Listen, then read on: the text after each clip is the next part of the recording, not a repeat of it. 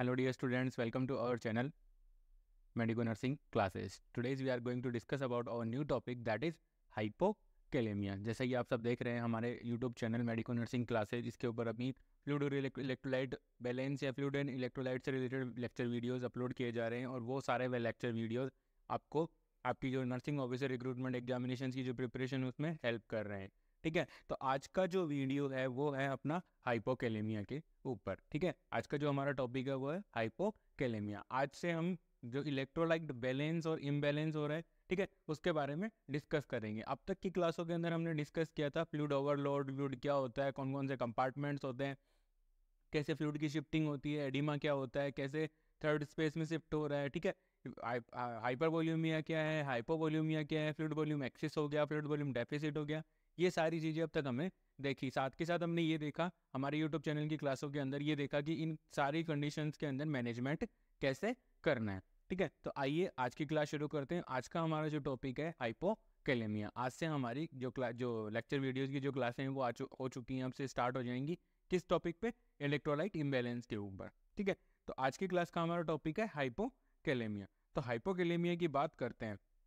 ठीक है स्टूडेंट तो हाइपोकेलेमिया की अगर बात करें तो हाइपोकेलेमिया एक ऐसी कंडीशन है। हाइपोकेलेमिया क्या है? एक ऐसी कंडीशन है, जिसके अंदर क्या होता है पोटेशियम का लेवल है, वो क्या हो जाता है? कम हो जाता है, ठीक है? तो सबसे पहले हमें ये पता होना चाहिए कि पोटेशियम का नॉर्मल लेवल कितना होता है। तो पोटेशियम का जो नॉर्मल लेवल होता है, वो होता है three point five to five milliequivalent per litre ठीक है?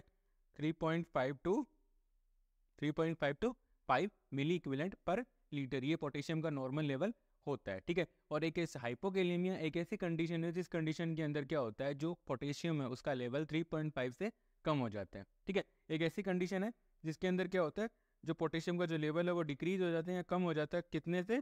3.5 मिली इक्विलेंट पर लीटर से अगर पोटेशियम का लेवल कम है तो वो कंडीशन क्या कहलाती है? हाइपो कैलेमिया कहलाती है, ठीक है? नेक्स्ट पॉइंट ये कहता है कि हाइपोकेलेमिया एक लाइफ थ्रेटनिंग कंडीशन है, ठीक है? Risk of life risk of life of patient ठीक है?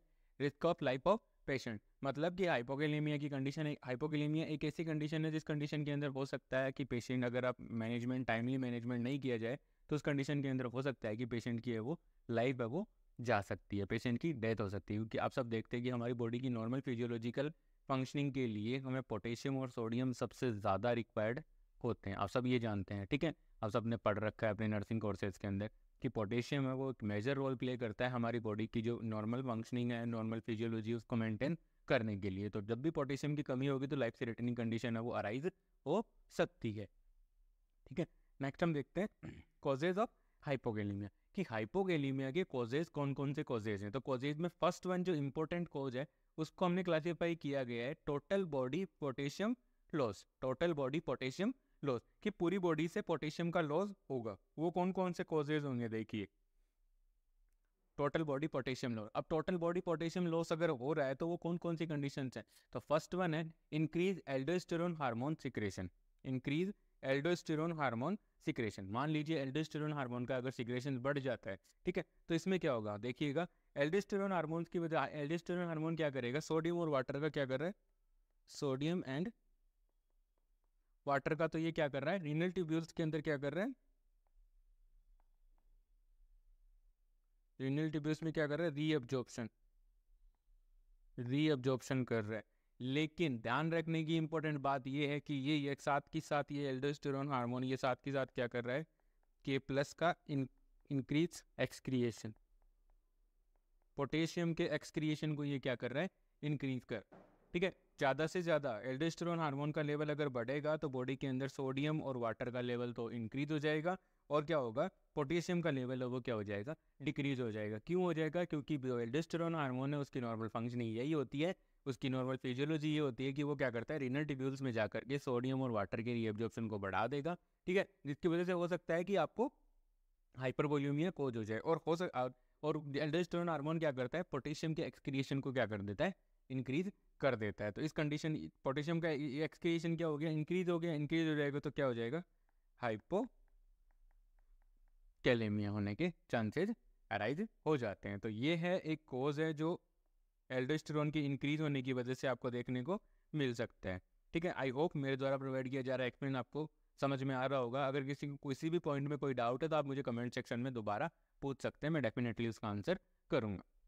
नेक्स्ट वन है नेक्स्ट वन है हमारा vomiting and diarrhoea vomiting and diarrhoea vomiting और डायरिया के अंदर आप देखोगे तो फिर जब इनके अंदर क्या होता है? मेजर इलेक्ट्रोलाइट लॉस होते हैं। मेजर इलेक्ट्रोलाइट्स का लॉस होता है। ठीक है? तो मेजर इलेक्ट्रोलाइट्स लॉस है तो इसमें इसमें क्या होता है? हाइपोकेलियमिया की कंडीशन है, मान लीजिए पोटेशियम है, वो ज़्यादा बॉडी से वोमिटिंग के दौरान बहुत ज़्यादा निकल रहा है। ठीक है? डायरिया के साथ आपके जो इलेक्ट्रोलाइट्स है, वो लॉस हो रहे हैं फ्लूड लॉस हो रहा है तो उस कंडीशन के अंदर हो सकता है कि आपको हाइपोकेलेमिया आपके पेशेंट के अंदर हाइपोकेलेमिया की कंडीशन है, वो अराइज हो सकती है। नेक्स्ट वन है अपना wound drainage specially gastrointestinal wound specially gastrointestinal wound इसमें देखिएगा वुंड ड्रेनेज के अंदर आप देखिएगा स्टूडेंट्स अगर हम नॉर्मल फिजियोलॉजी की बात करें बॉडी की नॉर्मल फिजियोलॉजी की बात करें तो नॉर्मली क्या होता है सेल के अंदर सेल के इनसाइड में क्या होता है पोटेशियम के प्लस इन साइड में ज़्यादा होता है। ठीक है? के प्लस क्या होगा? इन साइड के अंदर ज़्यादा होता है। और बाहर क्या होता है? सोडियम होता है। बाहर क्या होता है? एन ए प्लस होता है। ठीक है जी? ये एक नॉर्मल बॉडी की फिजियोलॉजिकल कंडीशन है। ठीक है? अब हम बात करते हैं वुंड की। वुंड का ड्रेनेज कर रहे हैं। वुंड के ड्रेनेज में आप देखोगे कि क्या हुआ? वुंड बना कैसे? ठीक है? चाहे किसी भी ट्रॉमा की वजह से आपको चोट लगी चोट लगी तो क्या हुआ? टिश्यू है, वो टूट गई। आपकी जो सेल्स थी वो क्या होगी ब्रेक डाउन हो गई। अब सेल ब्रेक डाउन हो गई तो जो अंदर का जो पोटेशियम था वो वो कहाँ गया? बाहर। एक्स्ट्रा सेलुलर फ्लूड के अंदर बाहर आ गया। अब आप बार बार इसको वाटर के साथ या आप आप क्या कर रहे हो? इसको पानी के साथ, आप इसको पानी के साथ क्या कर रहे हो? वॉश कर रहे हो इरीगेट कर रहे हो। ठीक है बार बार इस टिश्यू के ऊपर आप बार बार पानी डाल करके इसको कंटिन्यूसली आप इरीगेट कर रहे हो। इरीगेट कर रहे हो तो जो टूटी हुई सेल्स थे उनसे क्या होगा? पोटेशियम था वो इस पानी के साथ बैग करके कहाँ चला जाएगा? Out of the body out of body ये निकल जाएगा आउट ऑफ़ बॉडी तो ये क्या कोज कर देगा आपको? हाइपो कैलेमिया ठीक है? ये कोज कर देगा आपको हाइपो कैलेमिया तो ये एक इंपॉर्टेंट रीजन है इसका. नेक्स्ट हम बात करते हैं students prolonged nasal nasal gastric tube nasogastric tube suctioning prolonged nasogastric tube suctioning prolong nasogastric tube हमने देखा है कि जैसे जैसे बहुत ज़्यादा आप लंबे टाइम तक अगर आप पोटेशियम जो सक्शनिंग करते हो, गेस्ट्रिक सक्शनिंग करते हो एंड जो गेस्ट्रिक ट्यूब से आप पेशेंट को सक्शनिंग करते हो तो उस कंडीशन के अंदर क्या होता है, स्टोमक के कंटेंट्स के अंदर पोटेशियम का जो लेवल है वो ज़्यादा होता है, ठीक है? और आप जब बार बार कंटिन्यूसली सक्शनिंग कर रहे हो तो उस कंडीशन के अंदर क्या होगा, जो स्टमक कंटेंट के अंदर जो पोटेशियम भरा हुआ था, वो सारा का सारा आपकी नेजोगेस्ट्रिक ट्यूब से क्या कर दिया, आपने सक्शन कर दिया, उसको बॉडी से बाहर निकाल दिया। तो अब बॉडी के पास पोटेशियम को एब्जॉर्ब मतलब एब्जॉर्ब करने के लिए पोटेशियम है, वहाँ पे अवेलेबल नहीं है और इस कंडीशन के अंदर क्या होगा? आपको हाइपो केलीमिया की कंडीशन देखने को मिल सकती है, ठीक है? एक्सेसिव यूज़ ठीक है? Potassium prolonged use of prolonged use of nasogastric tube suctioning ध्यान रखना, जब भी ये बहुत बार क्वेश्चन आता है, ठीक है? एक पेशेंट है इंपॉर्टेंट क्वेश्चन है, ठीक है? स्टूडेंट्स प्लीज़ इसको ध्यान में रखिएगा, इसको याद रखिएगा। प्रोलोंग्ड नेजोगेस्टिक ट्यूब सक्शनिंग वो क्या कॉज करती है आपको? हाइपोकेलीमिया कॉज करती है। तो हाइपोकेलेमिया कौन कॉज कर रहा है? प्रोलॉन्ग्ड नेजोगेस्ट्रिक ट्यूब सक्शनिंग उस कंडीशन के अंदर आप देखिएगा कि स्टमक के कंटेंट्स के अंदर क्या होता है? पोटेशियम का लेवल इंक्रीज होता है। पोटेशियम का लेवल इंक्रीज होने की वजह से वहाँ पर क्या होता है स्टूडेंट्स वहाँ पर जैसे ही आप सक्शनिंग करोगे तो पोटेशियम है, वो सक्शनिंग के साथ बाहर आ जाएगा और बाहर आने से बॉडी के अंदर क्या हो जाएगी? डिफिशियंसी हाइपोकेलीमिया की कंडीशन है, वो क्या हो जाएगी? राइज हो सकती है। और ये एक इंपॉर्टेंट पॉइंट है। प्लीज़ इसको नोट कीजिएगा, हाईलाइट कीजिएगा, इसको मार्क करके रखिएगा। इस पर बहुत बार नर्सिंग ऑफिसर रिक्रूटमेंट एग्जामिनेशन के अंदर इसमें बहुत बार क्वेश्चन पूछे जाते हैं। ठीक है, नेक्स्ट वन है, excessive use of diuretics excessive use of diuretics corticosteroids and albuterol. ठीक है तो excessive use of diuretics corticosteroids और एल्ब्यूटिरोल। ठीक है, इसमें देखिएगा। ठीक है डायूरेटिक्स और excessive use of diuretics albuterol और कोर्टिकोस्टेरॉइड्स। ठीक है तो बात करते हैं डायूरेटिक्स की। हम बात करते हैं स्टूडेंट डायूरेटिक्स की। तो डायूरेटिक्स की बात करें। अब आप डायूरेटिक्स की अगर बात करोगे तो डायूरेटिक्स की बात करोगे तो डायूरेटिक्स क्या करती हैं? Increase urine output urine output अब इंक्रीज यूरिन आउटपुट इंक्रीज करती है, साथ के साथ ये क्या करती हैं? Reabsorption of decrease the reabsorption of sodium and potassium from कहाँ से? रीनल ट्यूब्यूल से. From the renal tubules from the renal tubules ये रीनल ट्यूब्यूल्स से क्या करती है? क्या कर रही है? रीअब्जॉर्प्शन को क्या कर देती है? कम कर देती है. ठीक है स्टूडेंट्स यहाँ पर आपको देखने की ज़रूरत यह है कि डायोरेटिक्स क्या कर रही है? यूरिन आउटपुट बढ़ा रही है. अब यूरिन आउटपुट बढ़ रहा है. ठीक है यूरिन आउटपुट कैसे बढ़ेगा? यूरिन आउटपुट कैसे बढ़ेगा? ये क्या करेंगे? Absorption of absorption of water and electrolytes is decrease urine output urine output बढ़ाने का एक ही तरीका है। जो एब्जॉर्प्शन होता है वाटर का और इलेक्ट्रोलाइट्स का जो एब्जॉर्प्शन होता है, उसको डिक्रीज कर दो यूरिन आउटपुट ऑटोमेटिकली इंक्रीज हो जाएगा रीनल के अंदर, ठीक है? तो डायोरेटिक्स का काम है यूरिन आउटपुट को इंक्रीज करना। तो ये क्या करेंगे? यूरिन आउटपुट को कैसे बढ़ाएँगे? ये यूरिन आउटपुट को बढ़ाएँगे ऐसे। एब्जॉर्प्शन ऑफ़ वाटर और इलेक्ट्रोलाइट को ये क्या कर देंगी? डिक्रीज कर देंगी, ठीक है? अब ये डिक्रीज करेंगे तो उस कंडीशन के अंदर क्या होगा? एक्सेसिव पोटेशियम का लॉस होगा बॉडी से और पोटेशियम का लॉस होगा तो हाइपोकेलेमिया की कंडीशन है वो क्या हो सकती है? अराइज हो सकती है। ठीक है? और जो डायोरेटिक्स है, वो क्या करती है? सोडियम और पोटेशियम को रीअब्जॉर्प्शन को भी स्टॉप कर देती है, जिस वजह से भी पोटेशियम वो काफ़ी ज़्यादा एक्सक्रिएट होता है यूरिन के साथ और हाइपोकेलियमिया की कंडीशन है, वो अराइज हो सकती है। नेक्स्ट वन है नेक्स्ट स्टेप ना कोर्टिकोस्टेरॉइड्स ठीक है? कोर्टिकोस्टेरॉइड्स के बारे में बताता हूँ। ठीक है? कोर्टिकोस्टेरॉइड्स पहला ये आ गया, दूसरा आ रहा है कोर्टिकोस्टेरॉइड्स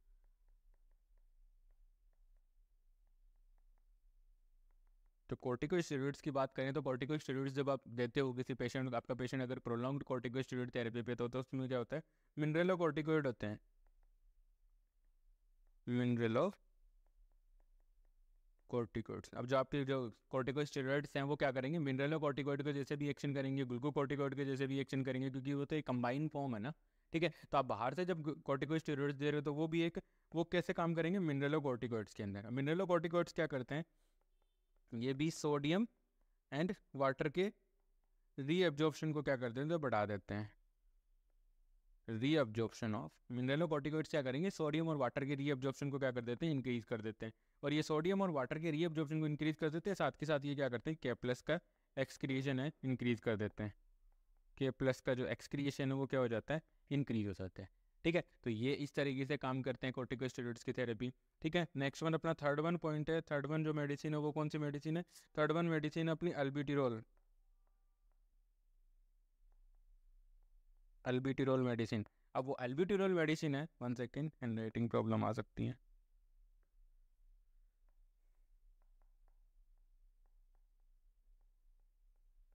एल्बिटिरोल अब जो एल्बिटिरोल मेडिसिन है, ये क्या करती है? ये जैसे जब भी एक्शन करने के लिए सेल के पास जाती है, ठीक है? जैसे ये क्या करेगी? सेल के पास जाती है तो ये क्या करती है? Cause influx of, cause influx of potassium into the cell, into the cells. ये क्या करती है? सेल के, जो पोटेशियम सेल के बाहर था हमने ये कहा कि भाई पोटेशियम वो सेल के अंदर है, ठीक है? मान लिया सब सेल के अंदर पोटेशियम है, लेकिन क्या है सेल के बाहर भी तो पोटेशियम है? एक्स्ट्रा सेलुलर कंपार्टमेंट में इलेक्ट्रोलाइट बैलेंस करने के लिए पोटेशियम है, ठीक है? तो अब देखिए एक्स्ट्रा सेलुलर कंपार्टमेंट के अंदर है, जैसे ही आप एल्ब्यूटिरोल दोगे एल्ब्यूटिरोल ये एक रेस्पिरेटरी मेडिसिन है। देखिए एल्ब्यूटिरोल क्या एक रेस्पिरेटरी मेडिसिन है ब्रोंकोडाइलेटर जैसे। ठीक है? एल्ब्यूट्रोल एक क्या है? रेस्पिरेटरी मेडिसिन अब ये रेस्पिरेटरी जैसे ही आप एल्ब्यूट्रोल दोगे पेशेंट को, जैसे ही आप पेशेंट को एल्बिट्रोल दोगे तो आप पेशेंट आप जैसे एल्बिट्रोल एल्बिट्रोल लेगा तो एल्बिट्रोल जैसे ही सेल के अंदर जा, जाएगी मतलब अपना एक्शन करने के लिए सेल के अंदर जाएगी तो ये क्या करेगी? हमेशा अपने साथ पोटेशियम को सेल के साथ, हमेशा अपने साथ क्या करेगी? पोटेशियम को भी लेकर के जाती है, ठीक है? हमेशा अपने साथ क्या करती है? पोटेशियम को लेकर के जाती है, ठीक है? अब ये क्या कर रही है? पोटेशियम को लेकर के जा रही है। तो पोटेशियम को जब ये लेकर के जा रही है तो क्या हो गया? Extracellular compartment ECC extracellular compartment, ठीक है? इसका मीनिंग ईसीसी का मतलब है एक्स्ट्रा सेल्यूलर कंपार्टमेंट। तो एक्स्ट्रा सेल्यूलर कंपार्टमेंट के अंदर आप स्टूडेंट्स देख सकते हैं यहाँ पर, ठीक है? यहाँ पर आप देख सकते हैं कि पोटेशियम का लेवल क्या हो जाएगा? कम हो जाएगा। वहाँ पर हाइपोकेलेमिया की जो कंडीशन है, वो क्या हो जाएगी? अराइज हो जाती है, ठीक है? तो हाइपोकेलेमिया की कंडीशन अराइज हो जाएगी। एक्स्ट्रा सेल्यूलर फ्लूड के अंदर क्या हो जाएगा? हाइपोकेलेमिया। नेक्स्ट हम देखते हैं कि ये सारा कुछ हमने देख लिया है कि डायोरेटिक्स कैसे इम्पेक्ट कर रही हैं, ठीक है? हाइपोकैलेमिया को कोर्टिकोस्टेरॉइड्स कैसे इम्पैक्ट कर रहे हैं, वो हमने देख लिया उसका एग्जैक्ट रीजन ठीक है? और एल्बिट्रोल कैसे इम्पैक्ट कर रही है? नॉर्मली एल्बिट्रोल क्या करती है? एल्बिट्रोल जब भी सेल के अंदर एक्शन के लिए जाएगी तो ये क्या करती है? मतलब इनडायरेक्टली इन शॉर्ट हम कह सकते हैं कि एल्बिट्रोल क्या करती है? पोटेशियम का इंट्रासेलुलर इन्फ्लेक्शन बढ़ा देती है। इन्फ्लक्स बढ़ा देती है। पोटेशियम वो इंट्रासेलुलर कंपार्टमेंट के अंदर चला जाता है from the extra cellular compartment और जिस वजह से क्या होता है एक्स्ट्रा सेलुलर कंपार्टमेंट के अंदर पोटेशियम की कमी हो जाती है और वो कमी क्या कहलाती है हाइपोकैलेमिया कहलाती है। ठीक है? तो ये सारा कुछ हमने अब तक की देख लिया। नेक्स्ट हम देखते हैं एक्सेसिव डायपोरोसिस एक्सेसिव डायपोरोसिस का मतलब है एक्सेसिव स्वेटिंग एक्सेसिव स्वेटिंग बहुत अधिक पसीना निकलेगा। अगर किसी इंडिविजुअल को अगर बहुत ज़्यादा पसीना आता है तो पसीने के साथ पोटेशियम है वो लॉस हो सकता है। पोटेशियम और सोडियम लॉस होते हैं तो पोटेशियम का लॉस अगर इंक्रीज है, ज़्यादा हो रहा है तो उस कंडीशन के अंदर पेशेंट के अंदर या उस इंडिविजुअल के अंदर क्या हो सकता है? हाइपोकेलेमिया है, वो अराइज हो सकता है। नेक्स्ट वन है kidney disease impairing the re reabsorption of potassium कोई भी ऐसी किडनी की डिज़ीज़ किडनी की ऐसी कोई डिज़ीज़ जैसे कि ना क्रॉनिक किडनी डिज़ीज़ हो सकती है एक्यूट किडनी डिज़ीज़ हो सकती है एक्यूट ट्यूबुलर नेक्रोसिस हो सकता है। ठीक है, कोई भी रीनल डिसऑर्डर कोई भी डिजनरेटिव रीनल डिसऑर्डर है जिसकी वजह से क्या हो सकता है? हो सकता है कि रीनल ट्यूब्यूल्स के अंदर के प्लस का एब्जॉर्प्शन ना हो। वहाँ पर क्या हो? कैन यू के प्लस का एब्जॉर्प्शन डिक्रीज हो जाए? एब्जॉर्प्शन है वो नहीं होगा तो उस कंडीशन के अंदर क्या होगा? वहाँ पर पोटेशियम की डेफिशिएंसी होना लाजमी है। ठीक है आई होप आप लोगों को मेरे द्वारा प्रोवाइड किए जा रहे कंटेंट आपको समझ में आ रहे होंगे। अगर किसी भी स्टूडेंट को किसी भी रेशनल में, किसी भी पॉइंट पे कोई भी डाउट है तो आप कमेंट सेक्शन में अपना डाउट है वो छोड़ सकते हैं। मैं डेफिनेटली उसका आंसर करूँगा। नेक्स्ट हम देखते हैं हमारा जो सेकंड वन कोर्स है। पहला हमारा कोर्स था कि टोटल बॉडी से पोटेशियम लॉस कैसे हो रहा है, ठीक है? टोटल बॉडी से पोटेशियम लॉस कर रहे थे हम टोटल बॉडी पोटेशियम लॉस अब हम देख रहे हैं, हमारा जो नेक्स्ट कोज है वो है हमारा इनएडिक्यूएट पोटेशियम इनटेक ठीक है? अब मान लीजिए आप अपने डाइटरी सोर्सेज के अंदर डाइट के अंदर, ठीक है? आप अपने डाइटरी सोर्सेज के अंदर या जो भी आप खा रहे हो, खाना खाते हो, पानी पी रहे हो, जो कुछ भी कर रहे हो, उस कंडी, उस उस सॉल्यूशंस के अंदर या उसमें जो भी फ़ूड पार्टिकल्स हैं, आपकी जो लिक्विड डाइट है सॉलिड डाइट होगी, जो भी डाइट है, उस डाइट के अंदर अगर आप पोटेशियम से पोटेशियम है वो डेफिसिट रहेगा, ठीक है? मान लीजिए कुछ ऐसे रिसो ऐसे ऐसे सोर्सेज आप ऐसे डाइटरी सोर्सेज का यूज़ ही नहीं कर रहे हो, जिन डाइटरी सोर्सेज के अंदर पोटेशियम वो इनफ अमाउंट के अंदर होता है, ठीक है? तो हो सकता है कि आप अपने डाइटरी सोर्सेज के थ्रू क्या कर रहे हो पोटेशियम का इंटेक वो कम कर रहे हो। ठीक है? डाइट लेक ऑफ़ पोटेशियम ठीक है? अगर मान लीजिए आप ऐसी डाइट ले रहे हो जिसके अंदर पोटेशियम नहीं है तो उस कंडीशन के अंदर क्या हो सकता है? हाइपो कैलेमिया होने के पूरे पूरे चांसेस हैं। सेकेंड वन मूवमेंट सेकेंड कहता है कि movement of potassium from the extracellular to the intracellular compartment ठीक है? Extracellular compartment to intracellular compartment तो यहाँ पर एल्बिट्रोल जो आपने ये भी पढ़ा है एल्बिट्रोल वो भी क्या है? एक इमीडिएट यही एक्शन करता है। एल्बिट्रोल क्या करती है? पोटेशियम को एक्स्ट्रा सेलुलर से इंट्रा सेलुलर कंपार्टमेंट के अंदर ट्रांसफ़र कर देती है। जिस वजह से एक्स्ट्रा सेलुलर फ्लूड के अंदर क्या हो जाता है? पोटेशियम की डिफिशियंसी हो जाती है। ठीक है? तो हमेशा ध्यान रखना है, जब भी कोई पेशेंट एल्बिट्रोल है एल्बिट्रोल क्या है? एक रेस्पिरेटरी मेडिसिन है। एल्बिट्रोल की थेरेपी के ऊपर है एल्बिट्रोल मेडिसिन है, वो ले रहा है। ठीक है? तो उस कंडीशन के अंदर हमें क्या करना है? उस पेशेंट के अंदर हमें पोटेशियम के लेवल को क्या करना है? रेगुलर इंटरवल के ऊपर मॉनिटर करना है। क्योंकि एल्विड्रोल है, वो क्या कर सकती है? हाइपोकेलेमिया कोज कर सकती है। नेक्स्ट हमारा जो ये कोज है कि movement of potassium from the extracellular to the intracellular इसमें फ़र्स्ट वन है हाइपर इंसुलिनिज्म मान लीजिए किसी भी रीजन की वजह से अगर हमारी बॉडी के अंदर इंसुलिन है, उसका सिक्रेशन है, बढ़ जाता है, ठीक है? Increase insulin increase insulin secretion from pancreas किसी भी रीजन की वजह से, किसी भी एटियोलॉजिकल फैक्टर की वजह से अगर इंसुलिन का सिक्रेशन है, वो क्या हो जाता है? बढ़ जाता है। अब इंसुलिन का सिक्रेशन बढ़ने की वजह से क्या होगा? ठीक है इंसुलिन का सिक्रेशन बढ़ेगा तो इंसुलिन क्या करेगा? इंसुलिन इंसुलिन क्या करेगा? वहाँ पे एक्शन करेगा। एक्शन क्या होगा? इंसुलिन का एक्शन क्या होगा? इंसुलिन क्या कर देगा? इंसुलिन क्या करेगा? इंसुलिन के साथ इंसुलिन के साथ इंसुलिन क्या करेगा? बाइंड करेगा। किस किस को बाइंड करेगा? Bind bind to the glucose and potassium. ठीक है? ग्लूकोज और पोटेशियम को बाइंड कर लेता है। ग्लूकोज और पोटेशियम को ये क्या कर लेता है? बाइंड कर लेता है। और जब ये ग्लूकोज और पोटेशियम को बाइंड कर लेगा तो क्या होगा? ये क्या कर देगा? Cause influx of influx of potassium into the extracellular to extracellular to intracellular. Extracellular to intracellular ठीक है extra cellular to intra cellular compartment के अंदर क्या कर देता है? इंसुलिन क्या कर देता है? पोटेशियम को ट्रांसफ़र कर देता है। मान लीजिए हमारी बॉडी के अंदर किसी भी रीजन की वजह से इंसुलिन का जो सिग्रेशन है वो इंक्रीज हो गया। ठीक है हाइपर इंसुलिनिज्म की एक कंडीशन है, जिसके अंदर क्या होता है? इंसुलिन का जो सिग्रेशन है इंसुलिन का जो ब्लड लेवल है, वो बढ़ जाता है। तो उस कंडीशन के अंदर क्या होगा? जो भी प्लाज्मा के अंदर पोटेशियम है जो ब्लड के अंदर जो भी पोटेशियम है, उस पोटेशियम को इंसुलिन क्या करेगा? सेल के इंट्रासेलुलर कंपार्टमेंट के अंदर भेज देगा। और इंट्रासेलुलर कंपार्टमेंट में जाने के बाद क्या होगा? वहाँ पे एक्स्ट्रा सेलुलर कंपार्टमेंट के अंदर पोटेशियम की क्या हो जाएगी? डिफिशियंसी अराइज हो जाती है। ठीक है? नेक्स्ट वन है एल्केलोसिस तो एल्केलोसिस की एक ऐसी कंडीशन है जिसके अंदर क्या हो जाता है? बेस है वो इंक्रीज हो जाता है। एल्केलोसिस क्या है? एक ऐसी कंडीशन है जिसके अंदर क्या हो जाता है? बेस है वो इंक्रीज हो जाता है। एल्केलोसिस डिटेल के साथ पढ़ेंगे नेक्स्ट यूनिट यही स्टार्ट करेंगे अपन एसिड बेस बैलेंस की।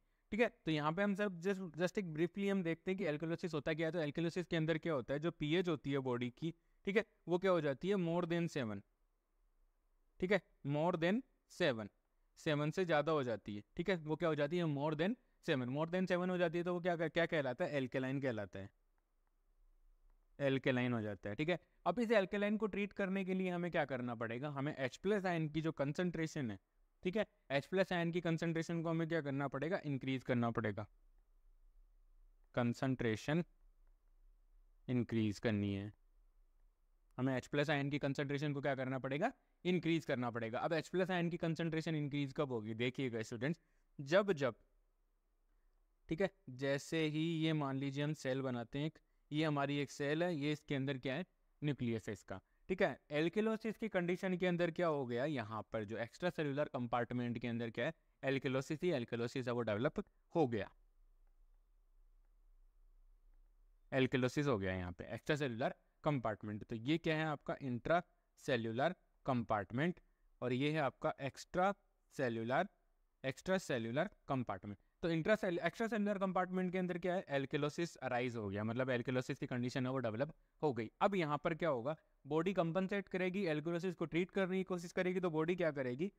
के प्लस को सेल के अंदर ट्रांसफ़र करेगी। के प्लस को क्या करेगी? सेल के अंदर ट्रांसफ़र करेगी। और जैसे ही के प्लस सेल के अंदर चला जाएगा, जैसे ही के प्लस सेल के अंदर जाएगा, ठीक है? जैसे ही के प्लस सेल के अंदर जाएगा तो सेल के अंदर जाने से ये जो हमारा के प्लस था, वो चला गया है सेल के अंदर।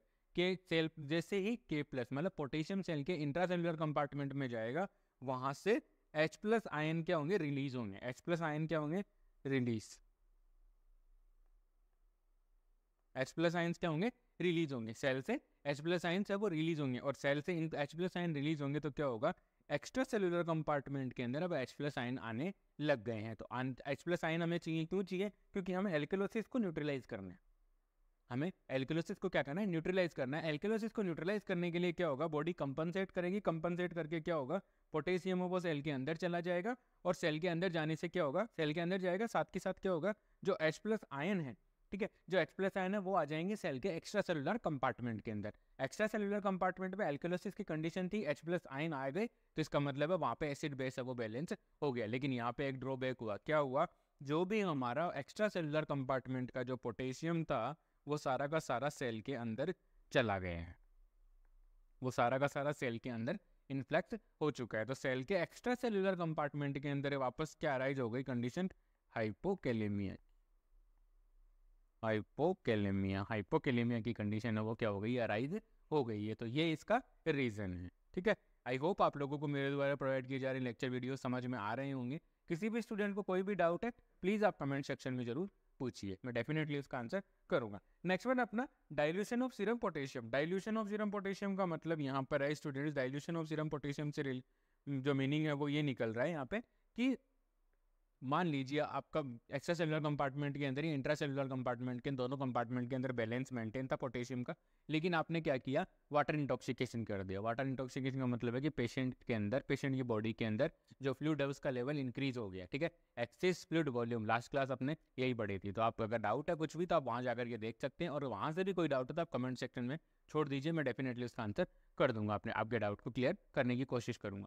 ठीक है? तो डाइल्यूशन ऑफ़ सीरम पोटेशियम का मतलब है कि वाटर इंटॉक्सिकेशन अगर बॉडी के अंदर फ्लूड का लेवल बढ़ जाएगा तो क्या हो जाएगा? हमारा जो एक्स्ट्रा सेलुलर कंपार्टमेंट का जो पोटेशियम है, ठीक है? जो पोटेशियम है, वो क्या हो जाएगा? डाइल्यूट हो जाएगा, ठीक है? वो डाइल्यूट हो जाएगा डाइल्यूट होने से क्या हो जाएगा?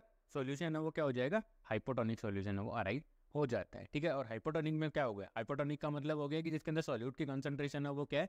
कम है तो पोटेशियम का लेवल कम हो जाएगा हाइपर डाइल्यूशन की वजह से, ठीक है? नेक्स्ट वन है आईवी थेरेपी एंड पोटेशियम मान लीजिए आप कोई आईवी वाटर इंटॉक्सिकेशन उसके बाद आप कोई आईवी थेरेपी दे रहे हो जिसके अंदर क्या है पोटेशियम है, वो नहीं है। आईवी थेरेपी मतलब इंट्रावीनस आप फ्लूड दे रहे हो, उस फ्लूड के अंदर क्या है पोटेशियम नहीं है तो डेफिनेटली है कि बॉडी के अंदर पोटेशियम की क्या होनी है, कमी होनी है। ठीक है, आप बाहर से जो भी दे रहे हो, उसके अंदर पोटेशियम है ही नहीं तो पोटेशियम की क्या हो जाएगी, कमी हो जाती है। ठीक है तो ये सारे कॉजेज थे। नेक्स्ट हम देखते हैं असिसमेंट नेक्स्ट हम देखते हैं असेसमेंट कि पोटेशियम की जब बॉडी के अंदर कमी होगी तो उस कंडीशन के अंदर हमें कौन कौन से साइन एंड सिम्टम्स देखने को मिलेंगे। डिटेल्स के साथ देखते हैं। धीरे धीरे करके सारे समझने की कोशिश करते हैं और ये सारे जो असेसमेंट हैं हाइपोकेलेमिया के, ठीक है? तो हाइपोकेलेमिया के जो भी असिस्टेंट है प्लीज़ आप इनको पूरा केयरफुली पढ़िएगा, क्योंकि ये एक इंपॉर्टेंट पॉइंट है। पोटेशियम सोडियम कैल्शियम ये सारे के सारे इंपॉर्टेंट पॉइंट्स हैं, क्योंकि इन पे ये इलेक्ट्रोलाइट्स है। मेजर इलेक्ट्रोलाइट्स है हमारी बॉडी के अंदर, हमारी बॉडी की जो नॉर्मल फिजियोलॉजी है उसको नॉर्मली फ़ंक्शन करने के लिए इन इलेक्ट्रोलाइट्स का बैलेंस होना बहुत बहुत ज़रूरी होता है। तो उस कंडीशन के लिए हमें क्या करना होगा? इन सब पे ज़्यादा ध्यान दे के इनको रीड आउट करना पड़ेगा, इनको समझना पड़ेगा, इनको याद करना पड़ेगा, ताकि nursing officer recruitment examination NORCET है। उस कंडीशन उस, ऐसे ऐसे एग्ज़ाम्स के अंदर जब भी इन जो ये मेजर इलेक्ट्रोलाइट्स अपने सोडियम है पोटेशियम है और आपका कैल्शियम है, इनसे रिलेटेड ज़्यादा क्वेश्चन आते हैं तो वो सारे क्वेश्चन हमारे सही हो सके, ठीक है? हमारे वो सारे क्वेश्चन सही हो सके नेगेटिव मार्किंग ना हो, हमारी जो प्रिपरेशन है वो सॉलिड हो सके, ठीक है? इसीलिए इनको ध्यान से पढ़िएगा असेसमेंट है वो और भी ज़्यादा केयरफुली होकर के पढ़िएगा। तो असेसमेंट शुरू करते हैं। असेसमेंट की बात करें इन केस हो असेसमेंट किस चीज़ का पढ़ रहे अपन हाइपोकेलेमिया का। हाइपो केलेमिया का असेसमेंट पढ़ रहा है। हाइपोकेलेमिया का असेसमेंट पढ़ रहे हैं। फ़र्स्ट वन सिम्टम आ रहा है हमारा। फ़र्स्ट वन जो सिस्टम हम मॉनिटर करेंगे या एग्जामिन करेंगे असेसमेंट करेंगे, वो है अपना कार्डियोवेस्कुलर सिस्टम तो कार्डियोवेस्कुलर सिस्टम्स के अंदर आप देखोगे कि वीक एंड थ्रेडी पल्स मिलेंगी आपको. वीक और थ्रेडी पल्स मिलेंगी. इरेगुलर पल्स हो सकती है. ऑर्थोस्टेटिक हाइपोटेंशन ऑर्थोस्टेटिक हाइपोटेंशन का मतलब जब भी पेशेंट अपराइट सुपाइन पोजीशन से अपराइट पोजीशन में आएगा तो उसका जो ब्लड प्रेशर है, वो क्या हो जाएगा? डिक्रीज हो जाता है. तो वो कंडीशन क्या कहलाती है? आपकी ऑर्थोस्टेटिक हाइपोटेंशन मैंने कल भी बताया था, मैंने आज भी बता रहा हूँ कि पोटेशियम हो, वो पोटेक्शन पोटेंशियल के लिए, सोडियम पोटेशियम चैनल के लिए बहुत ज़रूरी होता है, ठीक है? तो हमारी बॉडी के अंदर जो भी मसल्स हैं, उनकी उनकी फंक्शनिंग के लिए सबसे ज़्यादा ज़रूरी जो इलेक्ट्रोलाइट्स है, वो अपने सोडियम और पोटेशियम। है तो जैसे ही मान लीजिए पोटेशियम की कमी होगी तो सीधे साइन एंड सिम्टम्स हमें देखने को मिलेंगे हार्ट के ऊपर। क्या देखने को मिलेगा?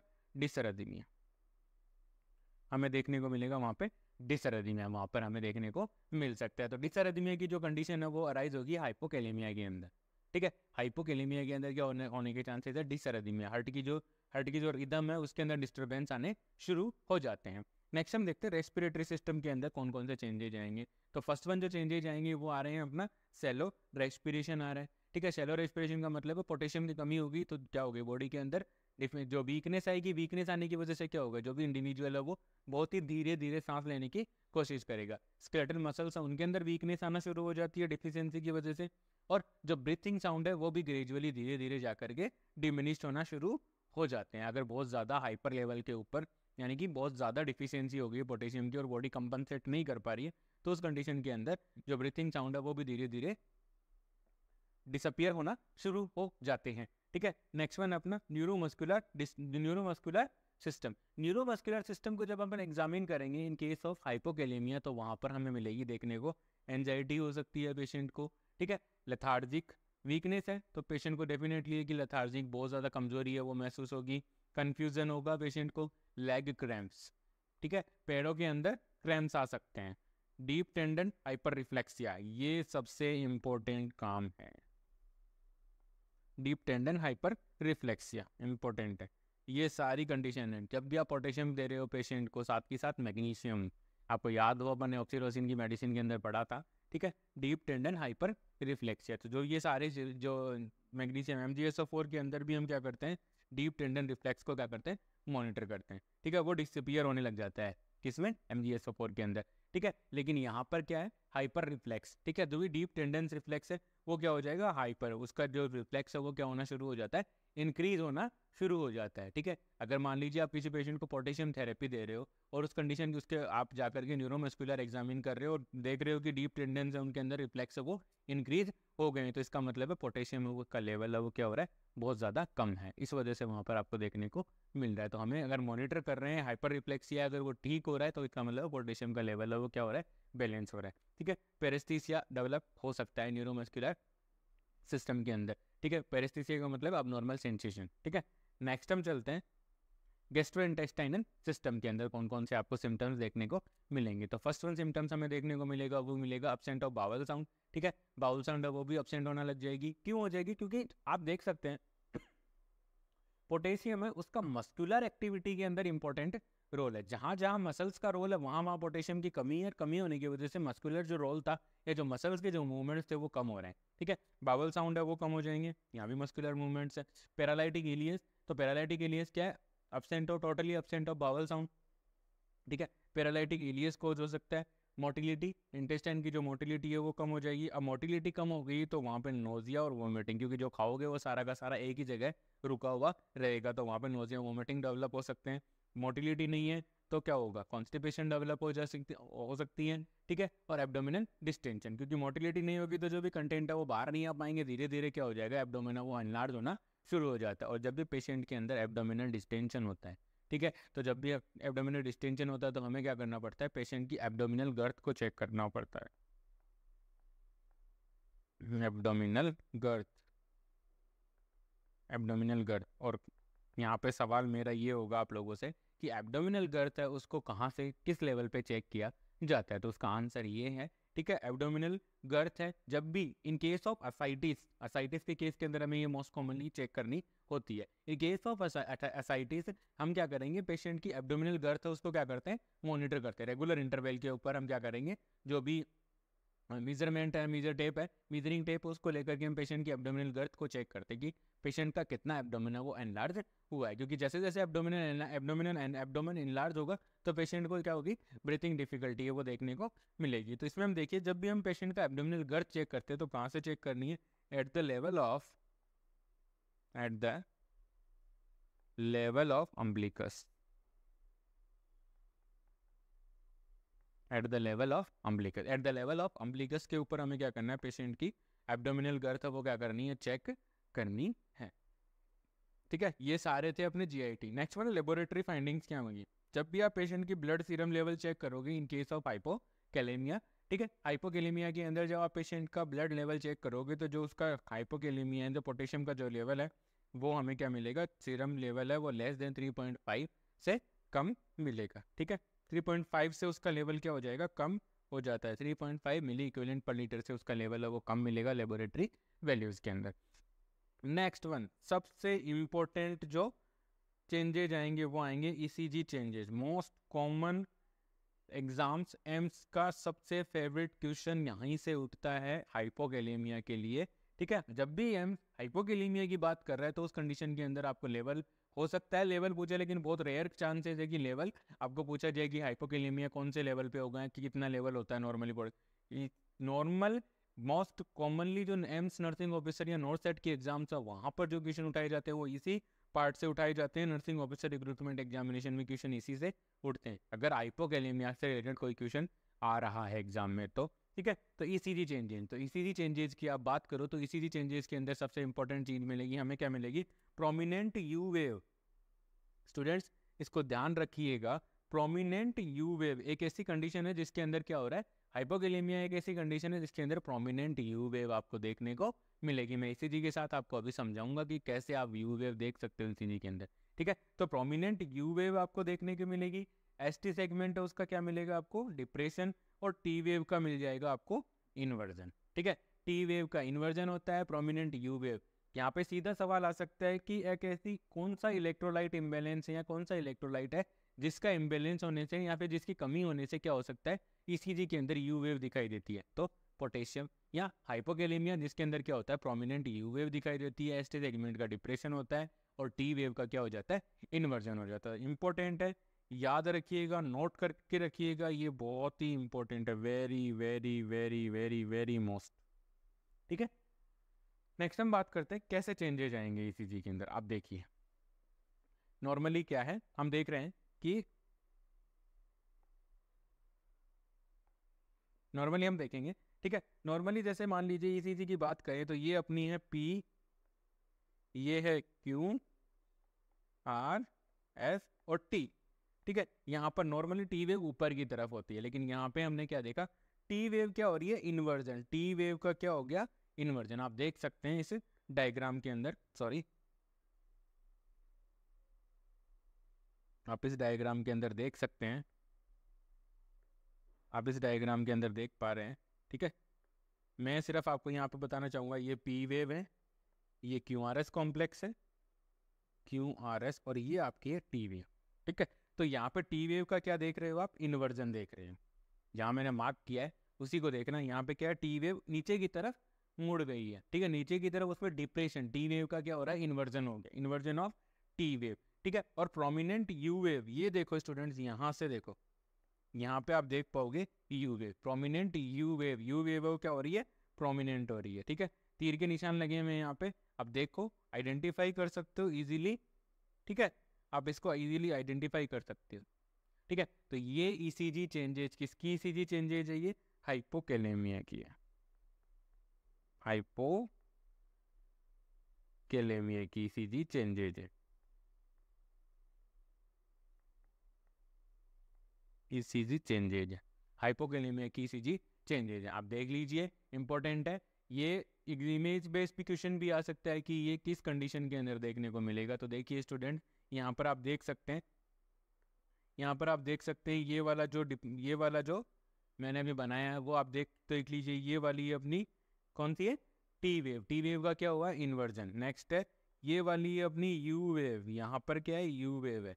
ठीक है स्टूडेंट्स यहाँ पर क्या है? यू वेव है। और ये यू वेव क्या कर रही है? यू वेव क्या है? यहाँ पर ये यू वेव है यू वेव क्या होगी? प्रोमिनेंट यू वेव ठीक है? Prominent U wave T wave का इन्वर्जन हो गया और एस टी सेगमेंट का क्या होता है? डिप्रेशन हो जाता है। तो ये सारे इसी जी चेंजेस हमें मिलते हैं हाइपोकेलेमिया की कंडीशन के अंदर, ठीक है?